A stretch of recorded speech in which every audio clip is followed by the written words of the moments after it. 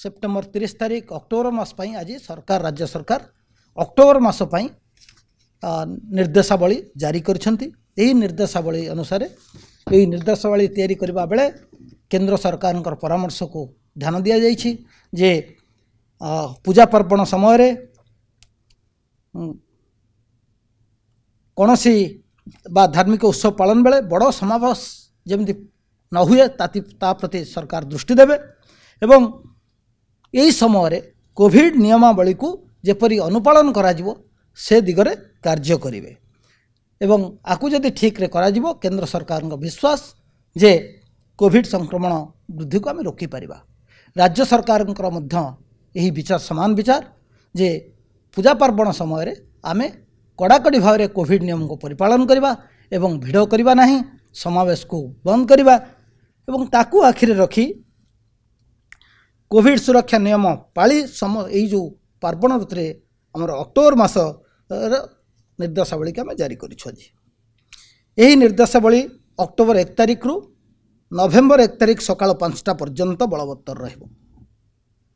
ଏହି ସମୟ ମଧ୍ୟରେ ସାରା ରାଜ୍ୟରେ ଯେଉଁ ଆମର ଅନଲକ୍ ପ୍ରକ୍ରିୟା ଅଛି ତାହା ଜାରି ରହିବ।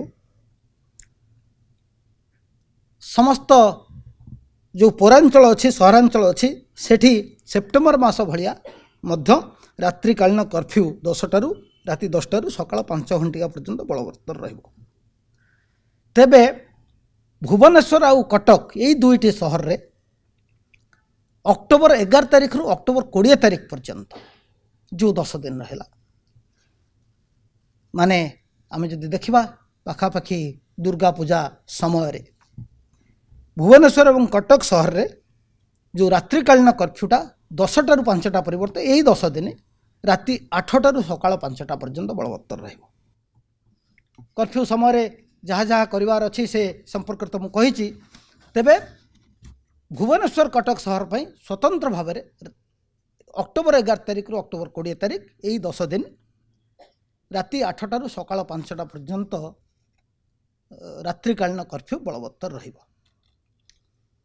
ଆଉ ଯାହା ଥିଲା ରାଜ୍ୟରେ ଦୋକାନ ବଜାର ଯେମିତି ଖୋଲୁଛେ ସେମିତି ଖୋଲିବ ସକାଳୁ ରାତି ପର୍ଯ୍ୟନ୍ତ ଖୋଲିବ। କେବଳ ଏଇ ଦଶ ଦିନ ଭୁବନେଶ୍ୱର ସହରରେ ଆମେ ରାତି ଆଠଟା ଭିତରେ ଦୋକାନ ବଜାର ସବୁକିଛି ବନ୍ଦ ହେବ। ଆଉ ଏଇ ମାସରେ ଆମର ଯେଉଁ ମୁଖ୍ୟତଃ ନବରାତ୍ରି ଏବଂ ଦୁର୍ଗା ପୂଜାର ଯେଉଁ ପାର୍ବଣ ଅଛି ଲକ୍ଷ୍ମୀ ପୂଜା ଆସିବ କଡ଼ୁଆ ଚୌଥ ବୋଧେ ଅଛି ଏଇ ମାସରେ ବି ପଡ଼ିବ ଏବଂ ଇଦ୍ ମିଲାଦ। ଏଇ ଯେଉଁ ପର୍ବପର୍ବାଣୀ ଗୁଡ଼ିକ ଅଛି ସେହି ସମସ୍ତ ପର୍ବପର୍ବାଣୀ ରାଜ୍ୟ ସରକାରଙ୍କର ଅଗଷ୍ଟ ନଅ ତାରିଖରେ ଜାରି କରାଯାଇଥିବା ନିର୍ଦ୍ଦେଶାବଳୀ ଅନୁସାରେ କରାଯିବ।